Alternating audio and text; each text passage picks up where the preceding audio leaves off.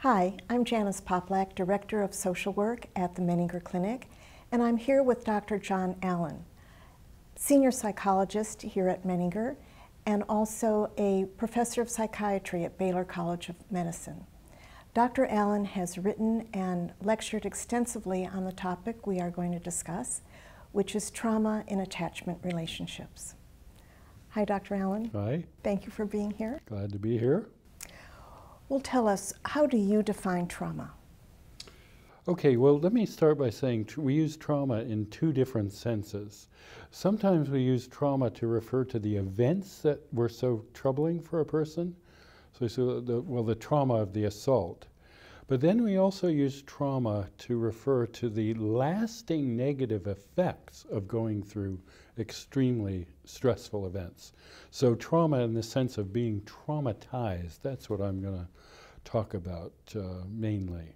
And one thing I want to say about the word trauma, it's, there's no bright line that you know you say, well, you know this, well, this wasn't quite traumatic. Yeah, that was traumatic. I mean, it's a continuum, and the continuum is stressed from mild stress to extreme stress.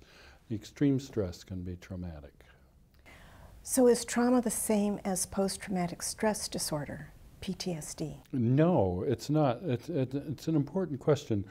PTSD, post traumatic stress disorder, is the one psychiatric disorder that you have to have been through some traumatic events in order to have this diagnosis. So that's how the two are linked. Let me just say a bit more about post traumatic stress disorder. Essentially, it's like an all or none reaction that when you are have post-traumatic stress disorder, reminders of trauma tend to bring back that experience. So you have these extreme, intense emotional reactions to reminders of trauma. And at the extreme would be flashbacks, as if you're actually, it's as if you're feeling like you're back in that traumatic situation with these powerful reactions. So if you think about that, naturally, somebody who has those reactions is going to try to avoid anything that reminds them of trauma. Try to stay out of situations that would remind you of trauma. Try not to think about it, talk about it, and so forth. So you get this oscillation between avoidance and at worst really constricting your life, and then this very strong reactivity. So that's the crux of post-traumatic stress disorder, but there's a, a bit more to it. Another thing is hyperarousal, feeling anxious, chronically anxious and irritable, mm-hmm. and then negative thoughts and feelings that are connected with the traumatic experience. For example, feeling scared a lot, feeling angry a lot about what happened, a big one is feeling shame or humiliation for what you've gone through.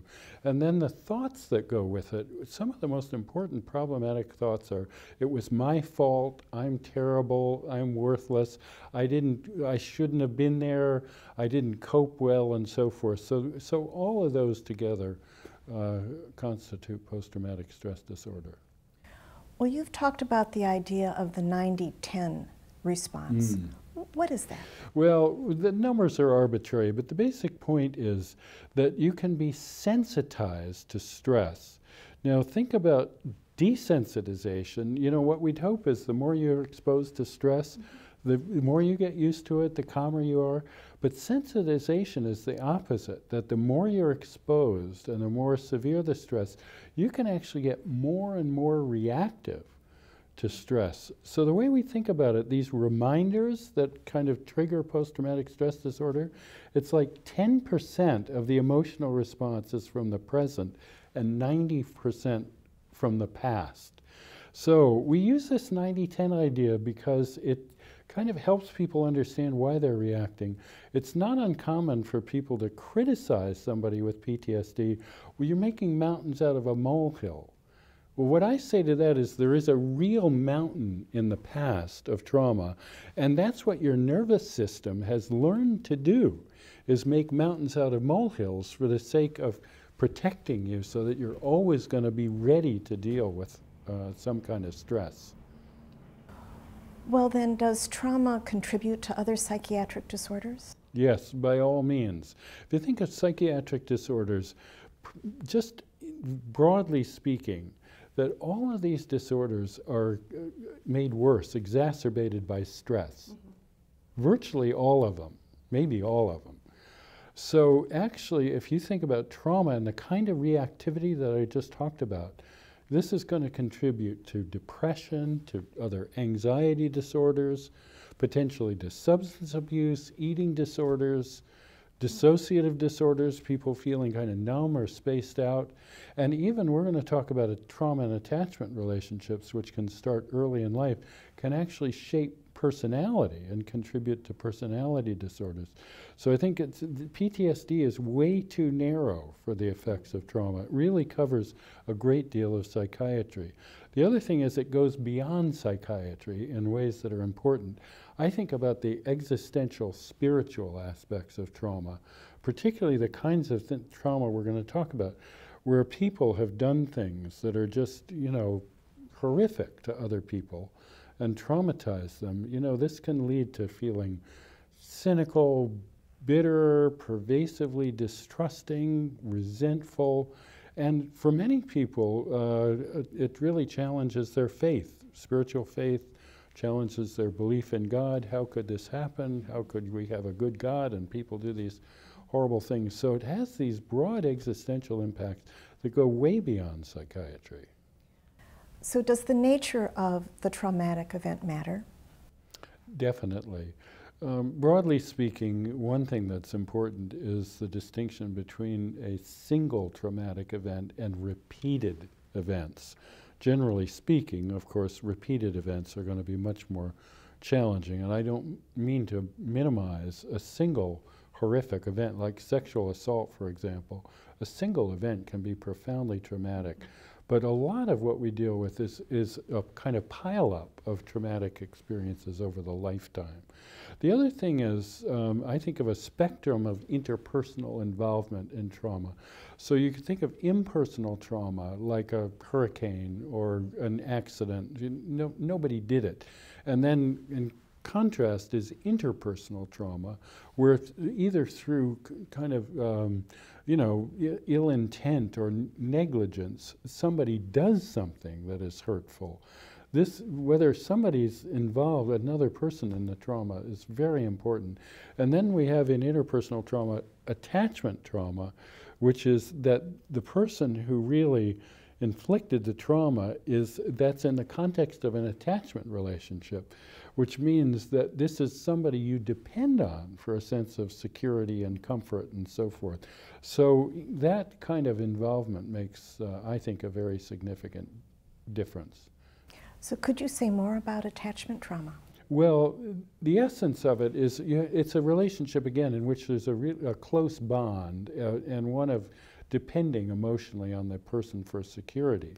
So what happens in attachment trauma is that you have, the way I think about it is a combination of something that produces very powerful, painful emotions.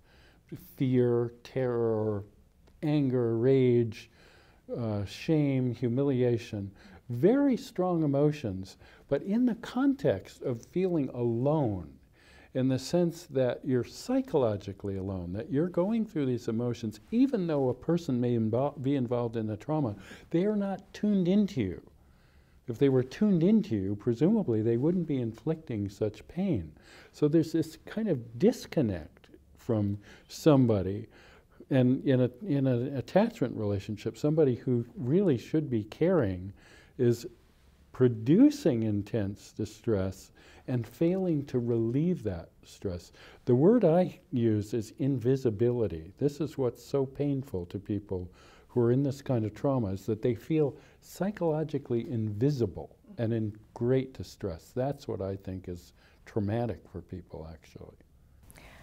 Why then is um, attachment trauma so potentially problematic? Well, the thing is, if you think of attachment relationships as our main way for, for getting a sense of security and comfort when we're hurting, when we're in pain, when we're distressed. These relationships should be the main source of healing. But with trauma, you have insecurity in those relationships and potentially extreme distrust. So attachment trauma blocks the avenue for healing from trauma because we learn to fear what has hurt us. So, with attachment trauma, what you learn to fear is depending emotionally on other people. And if you're traumatized, what you most need to be able to do is depend emotionally on other people. So, is it true that if someone has endured trauma, um, that they would be uh, most likely to repeat it themselves? Well, I would say not necessarily going to repeat it, but quite often uh, this is a problem because you not only have past trauma, but the re experiencing of it, not just in your mind, but in current relationships with attachment trauma. Let me just give you an example of how this can happen. So, attachment trauma produces insecurity in attachment relationships. Now, a trigger for PTSD is some disruption in a relationship that reminds you of the past trauma. So, say you have a dispute or a conflict or an argument, or say you're, the person you're depending on doesn't show up, they don't follow through with a commitment. Or what often happens, you know, you're hurting and this other person is preoccupied or distressed, uh, you know, and so they're, they're not, they don't want to deal with your stuff. Okay, this is ordinary human stuff. But you see, with that 90 10 reaction, this can trigger past trauma. Then you get this intense reaction. How come you weren't there? You know, you said you'd be there, you weren't there. And then, even worse, if the traumatized person engages in behavior that's destructive, like substance abuse or self harm, then this freaks out the person they're depending on, creating insecurity in that person, and you can just see the potential for kind of snowballing vicious circles. So, what are the most important things to be able to heal from attachment trauma? Okay, well, what I'm going to say first might actually surprise you. I would say maintaining your physical health, cultivating your physical health.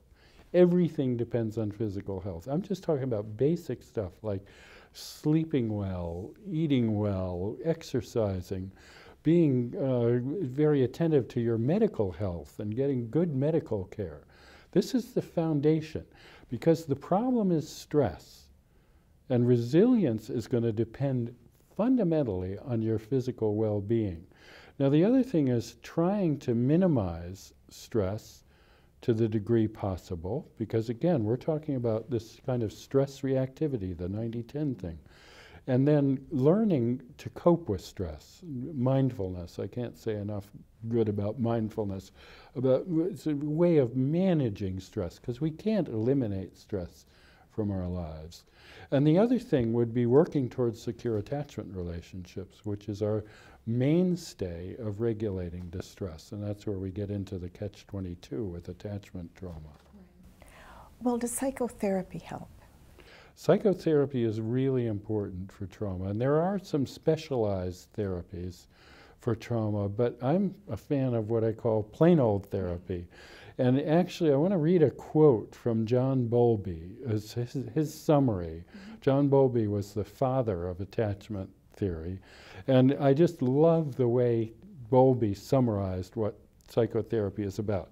I wouldn't say Bowlby was a plain old therapist. I'm a plain old therapist, but what he wrote really fits. It's so he said the therapist's role is to provide the patient with a secure base from which he can explore the various unhappy and painful aspects of his life, past and present, many of which he finds it difficult or perhaps impossible to think about and reconsider without a trusted companion to provide support, encouragement, sympathy, and on occasion, guidance. I think this is a beautiful summary of what people who have been traumatized need to do because if you think that combination of being in emotional pain and feeling psychologically alone, what Bowlby describes is an overcoming of that. Now, in a trauma education group, once I made the statement, we were talking about PTSD, I said, Boy, the mind can be a scary place. And this young woman piped up and she said, Yes, and you wouldn't want to go in there alone. So now, if you think about trauma therapy, that's it. the mind can be a scary place and you wouldn't want to go in there alone. So, how can families help? Well, I think families first need to understand how trauma affects people. Um, education is very important. And one thing is, I say, you know, be careful about the J word, just, if you just. See, with trauma, well, just move on. Um, you know, just put the past behind you. Yes, of course, this is what the traumatized person wants to do, but with this sensitization process, and potentially with trouble in current relationships, putting the past behind you can be profoundly difficult and requires a lot of treatment. So I think these things families need to understand.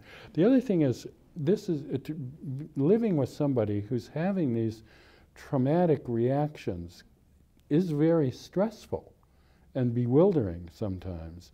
So family members may need to get help for themselves. If they're going to provide secure attachment, they need to have secure attachments themselves.